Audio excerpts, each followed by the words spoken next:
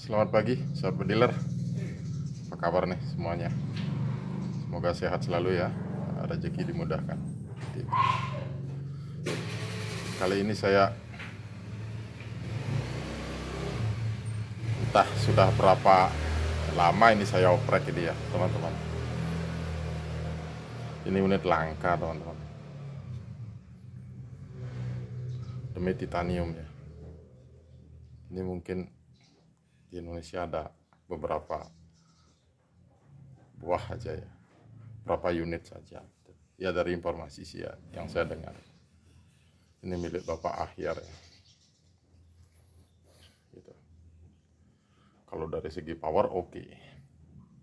ini kemarin pakai laras LW ya. LW regulnya Kuma. Gitu. Saya tidak menemukan akurasi saya oprek-oprek coba lagi dengan JSB bis katanya dulu. Uh, settingnya pakai bis. Hmm, kurang menurut saya. Bukan standar saya gitu loh. Perbaiki potong loading lagi. Crowning ulang. Mau uh, semakin rapat tapi bukan standar saya gitu loh. Jadi batin saya tuh masih belum puas itu teman-teman ini dulu pakai regul Puma ya. Terus ya coba-coba apa sih ini yang menyebabkan itu? Tak cek laras sudah saya loading loading dan crowning ulang dan saya yakini itu adalah bagus gitu. Bagus menurut saya setelah saya coba kurang menurut saya. Tak FPS eh tak krono FPS stabil. Apa yang kurang? Ya begitulah riset ya teman-teman. Tidak ada teori baku. Harus begini ganti ini pasti mau bagus. Tidak. Semua dengan cara mencoba ya. Dicoba. Dicoba begitu. Makanya riset itu memerlukan banyak peluru. Banyak angin juga. Pikiran. Waktu. Seperti itu. Jadi tidak semudah itu. Ada senapan yang cepat saya dapatkan akurasinya dan kestabilannya. Ada yang lama gitu loh jadi seperti itu. Saya itu ada standarnya ya. Akurasi harus seperti ini menurut batin saya. Baru cocok seperti itu. Kalau masih belum serak ya tetap aja saya oprek seperti itu teman-teman. Nah sekarang ini uh, unitnya Bapak Ahyar ini ya. Ini saya pasang konverter ya.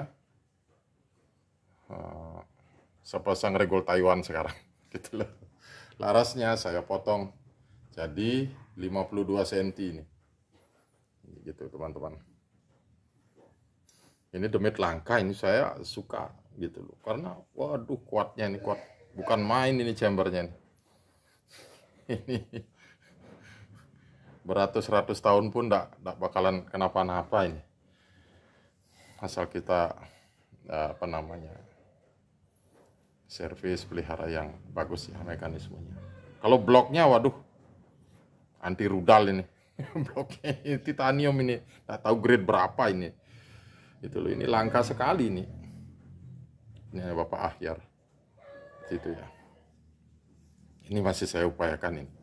Saya pakai OP 18 sekarang panjang laras 55 ya. Eh 52 ntar saya mau tes tes ya. Semoga ini hasilnya bagus ya.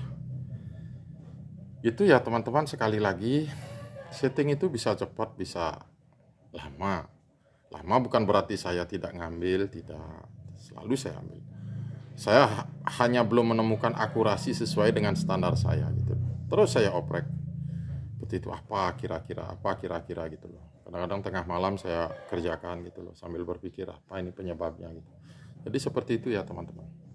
Setting itu tidak segampang yang dipikirkan gitu loh. Tidak segampang yang dilihat hasilnya gitu loh. Oh bagus dikira gimana? Tidak dikira tidak melalui proses yang begitu rumit gitu kita gampangan. Tidak. Semua tukang setting pasti punya uh, pengalaman seperti itu ya. Jadi seperti itulah setting. Kita bukan hanya mencari akurasi tapi mencari konsisten ya. Konsisten perkenaannya. Kemudian akurasinya bisa lama ya misalnya standar ya dua magasin atau tiga magasin tergantung spek yang digunakan ya misal BG hunting biasa itu itu itu beda itu ya begitu ya. Menurut saya standar saya seperti itu. Itu teman-teman. Jadi ini unit Pak Ahyar ini masih saya upayakan terus ini. Saya pribadi masih belum puas karena ini unit yang sangat bagus ya. Seperti itu ya. Ini langka ini. Yang sangat langka. Mungkin nanti suatu saat ini akan jadi barang antik ini teman-teman. Bakalan sangat mahal ini nilainya. Seperti itu dulu aja katanya beli berapa tuh? Beliau di atas 20-an katanya. Seperti itu teman-teman. Ya oke ya. Nanti ini ya tunggu aja hasilnya seperti apa gitu teman-teman. Entah saya tes hunting ataukah uh, tes kertas ataukah tes tembok atau apa gini tergantung momen apa yang saya dapatkan nanti itu teman-teman. Karena di Bali ini musim hujan musim angin juga jadi saya tidak bisa keluar trial. Makanya lama saya tidak ada video hunting itu teman-teman. Oke ya terima kasih teman-teman atas perhatiannya. Saya ucapkan terima kasih. Salam dari Bali